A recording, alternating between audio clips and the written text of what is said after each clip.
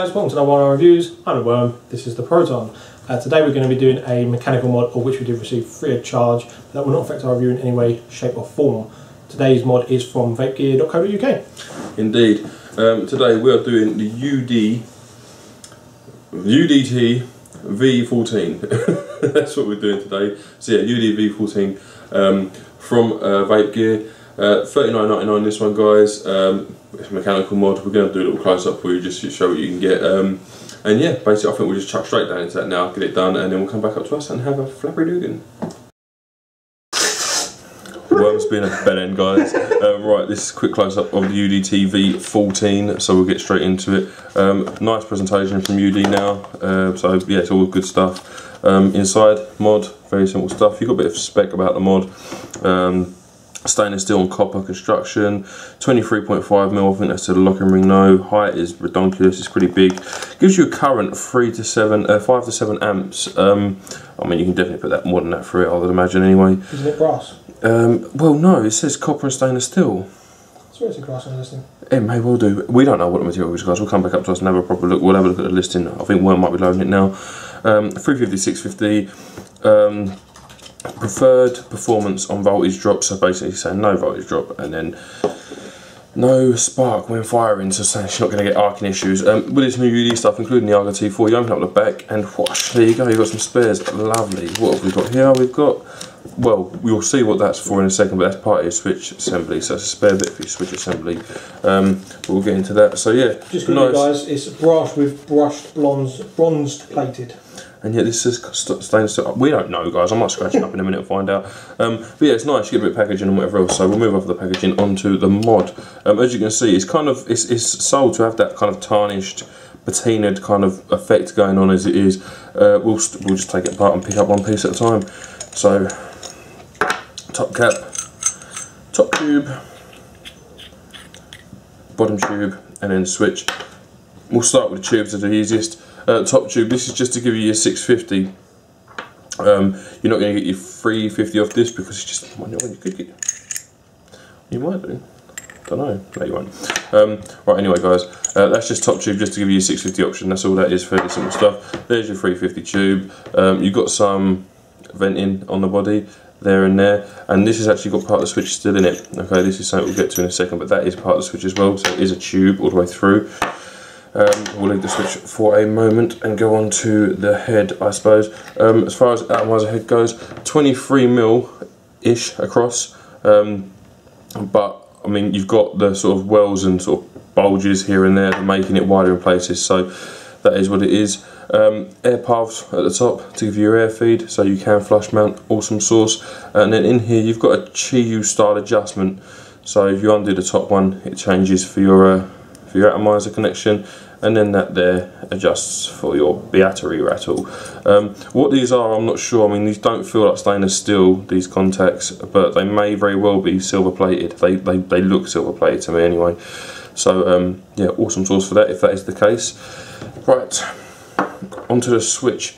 Now the switch is a bit of a complicated setup so what you've got, let's start here, this is the bit that stayed in the tube first of all, it's double threaded both sides, you've got your top contact there which is actually negative contact for your battery. And as you're under here you've got an extended steel or yeah it looks like stainless steel to me arm and then it touches the bottom of the contact. So basically it pushes down and that's where your contact's made like that as you're pushing the switch.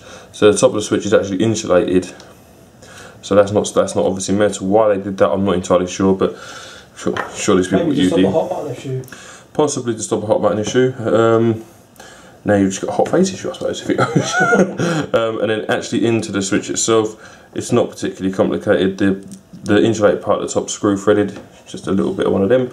Um, and then you undo and it'll pop out if you give it a little shake maybe. Let's just unscrew it. Unscrew here. Get there eventually.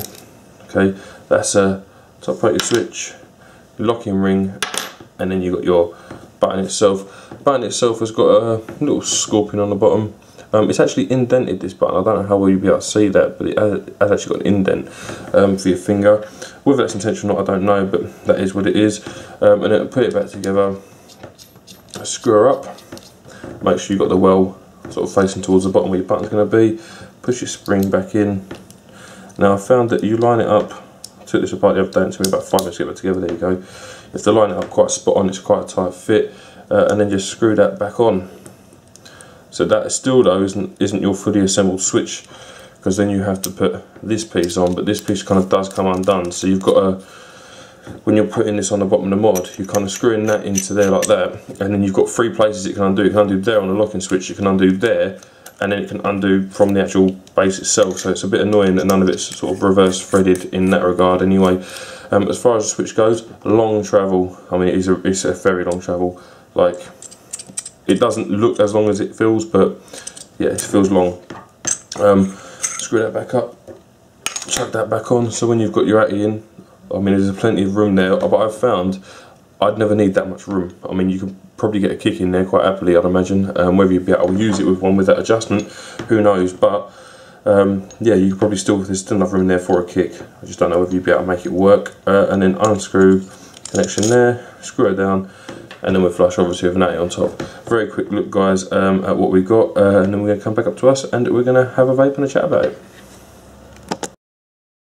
Hi guys, that was the up close of the UDT version 14 or something. VP, I don't know, say 14. UDT V14. V14, yeah. Right, okay. Um, we had a little, um, not sure whether it's stainless steel or brass. We scratch tested it on the inside of the tube. It's definitely brass.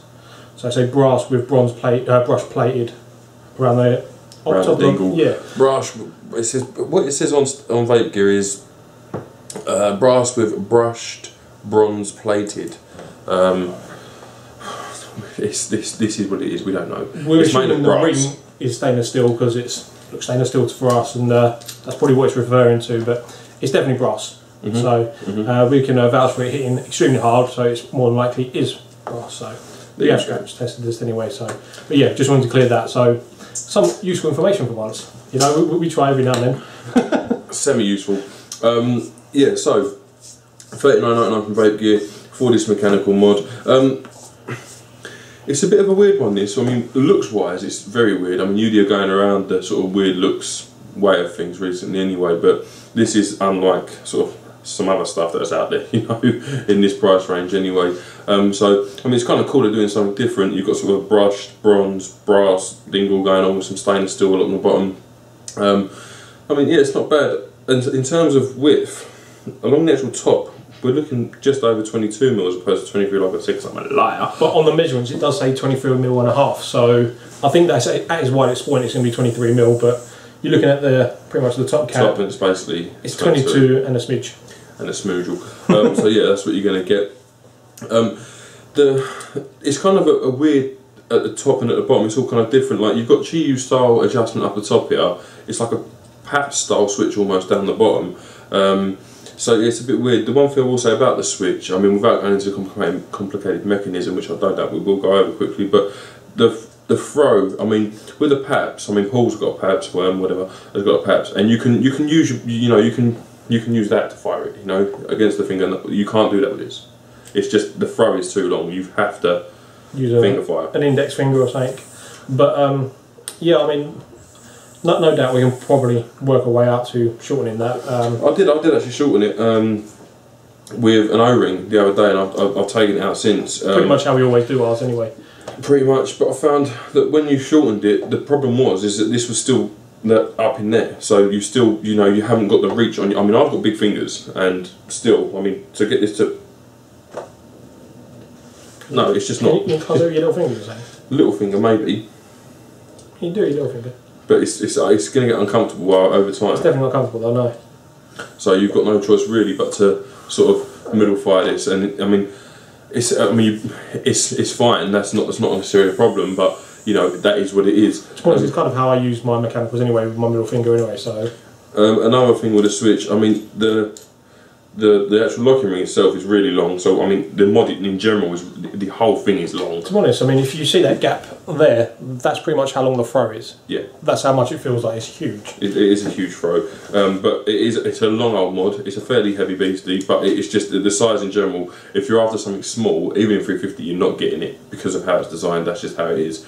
Um, but the other thing with the switch is you know, as I said in the review, I mean, I go on to unlock that there, and I'm unlocking this part. You know, that actually disconnects the entire switch for once, and then other times you'll undo it, and it goes to undo the, the stainless steel bit that's attached to that. So it'll leave the top part of the switch in the mod, but then you'll get the locking ring, the firing button, and that stainless steel section with the extension in it. So the, the switch itself, some of that, I mean, if nothing else, the top part of the switch should be reverse threaded just to make it not annoying. That's the most annoying thing with this because the threads are nice and smooth, but because of that, you just you undoing the switch whenever you try and look off. You've got your pinky fingers involved, and you're trying to hold it. And To be fair though, against this mod, because it is an inset button where you have to push internally into the actual body, you don't need to use the locking ring as often as you would on many other mods. So I think uh, the reason they didn't do put reverse threading on there because it obviously does bump up prices a lot of the time because you've got to get it machined and all that. But because you don't really need to use the locking ring when you're at home and about on that because it's just going to sit on your desk or on its side. It's not going to work. It's only going to be when you're transporting it, maybe in your ego case or your pocket or whatever,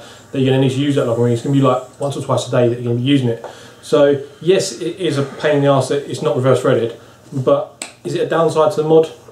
Fractionally, because it's, it's one of those mods that is hitting so hard, you kind of forget about its little flaws. You know, it's, it's like anything. You find something that's really good. There's always something wrong with something, but how it, how it performs dictates how much you love it.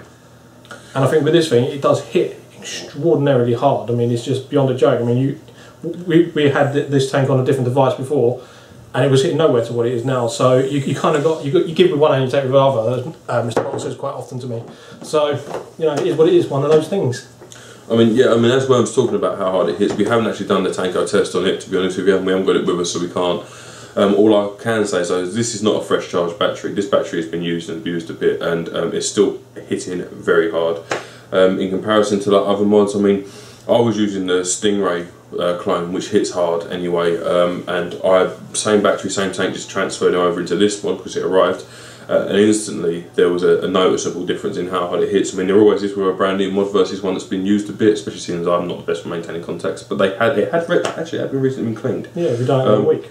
So I noticed straight away that this was hitting hard, you know. So that's definitely a thumbs up for this, um, which is cool. Um, So we're going to five point hitter. yeah, we'll do it. Yeah. Five point hitter looks. not for me. Uh, it's, it's not one that I would lean towards in any way, shape, or form. Why I like them, like really shiny brass because I kind of keep my brass kind of cleaned all the time, or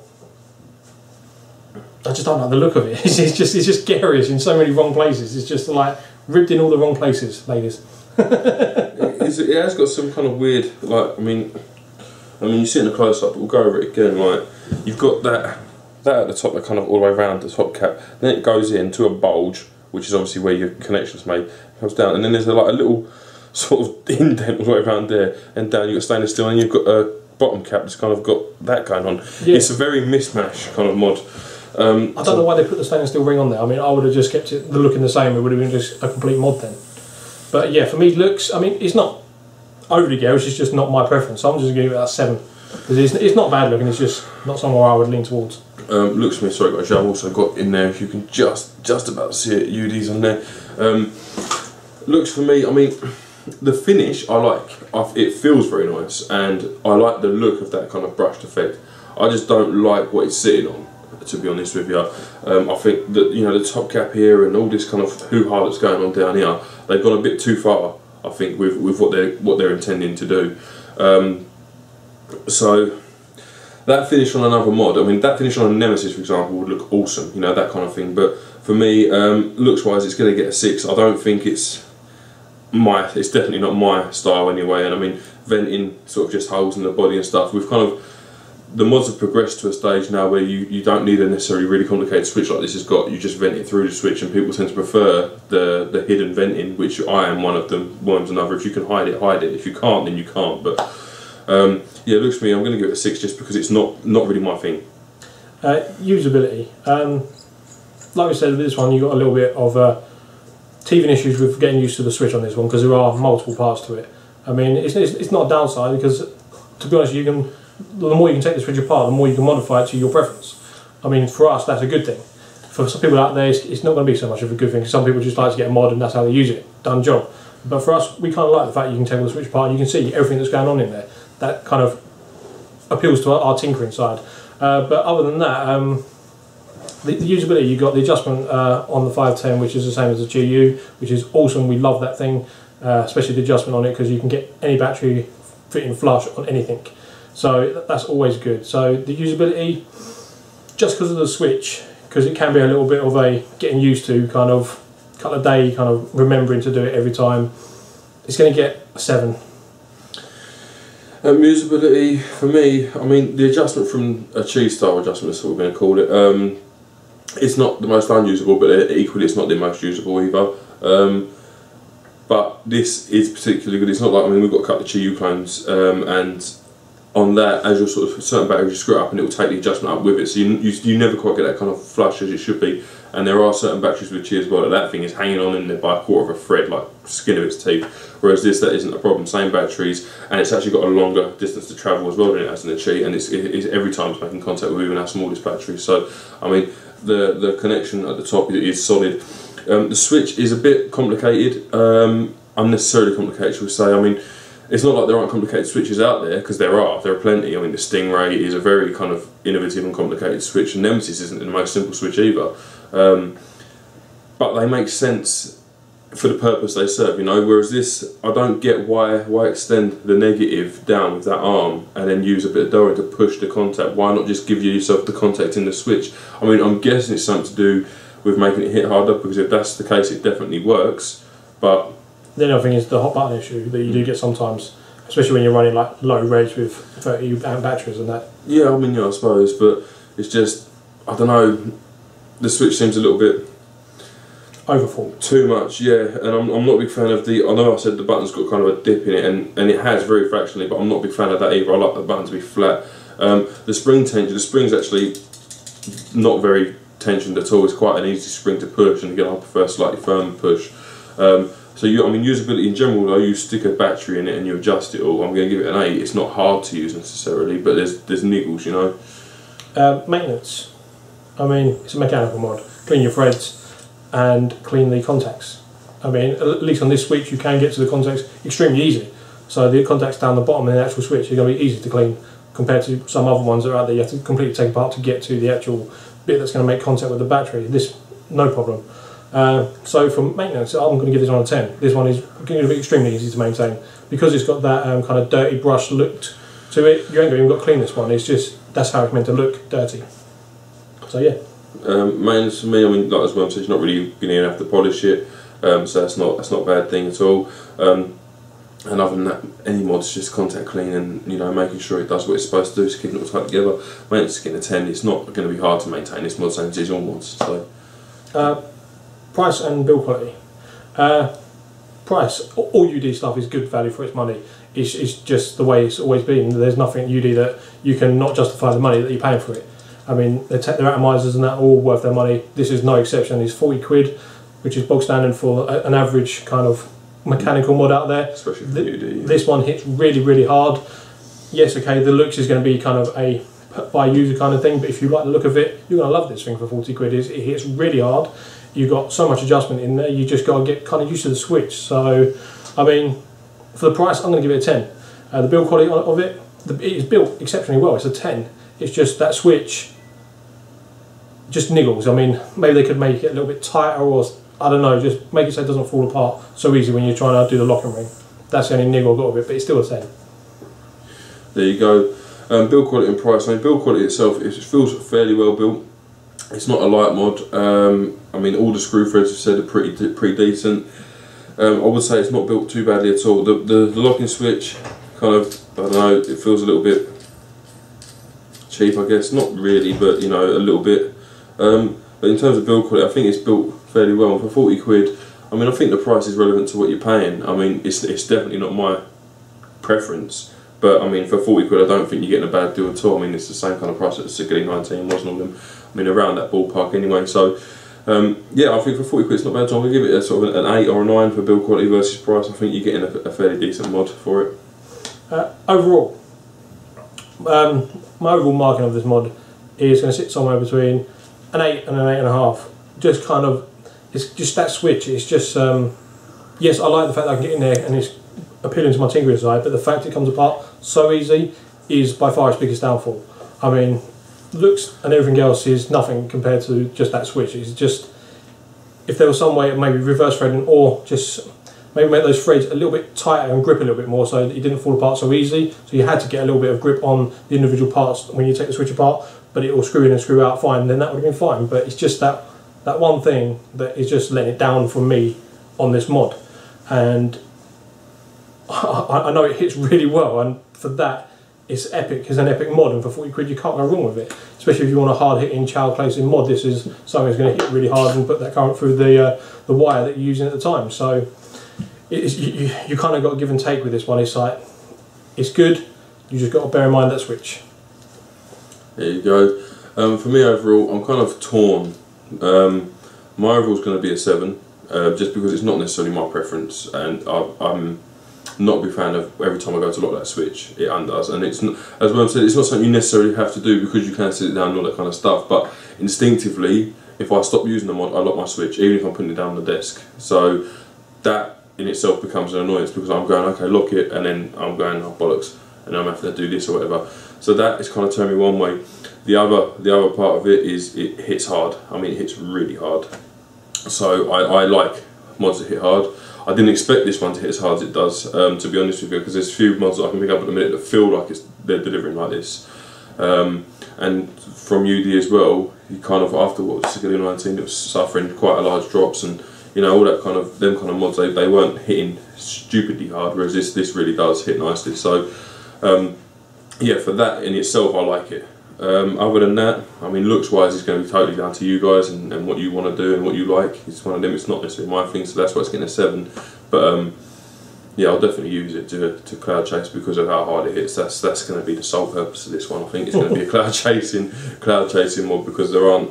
I can't see anything on that table over there that, that's going to hit harder than this at the minute.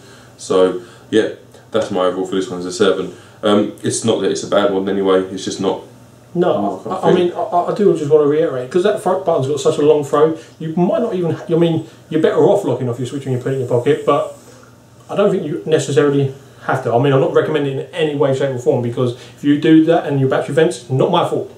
No, but what I'm saying is that you could probably get away with it if you forgot. I mean, it's not one of those ones where you're.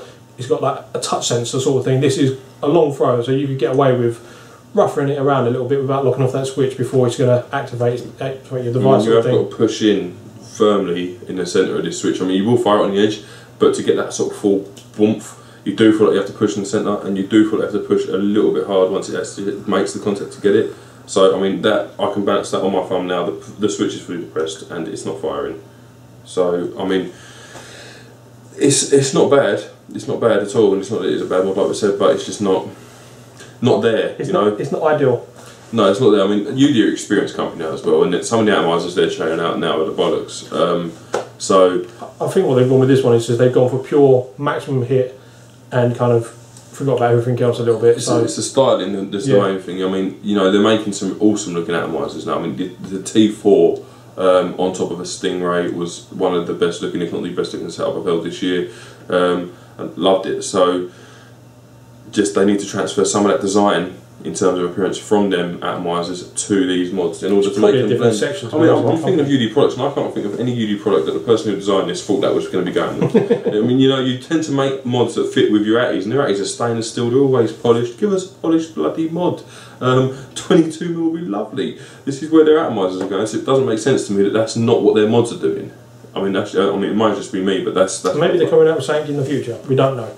Uh, we, we never do know. No. We, we, we take every day by ear. But um, obviously, we want to say a big thank you to Vape Gear, Keith and Kirsty. Mainly Kirsty as always. Of course, um, they'll be up here and down here, guys. If you want to go and check them out, they're adding new stuff as well. So, um, yeah, definitely keep an eye on Vape Gear as well because some new UD products that are coming out soon. and I really want them, and I'd imagine Vape Gear are going to be stocking them. So yeah, coming soon, um, I'd imagine. And yeah, obviously, big thanks to Keith and Kirsty, of course, for sending it down to us. Uh, we're pretty much done here. Um, thank you very much for watching, guys. I've been Mr. Proton. This has been the Worm. We shall see you soon.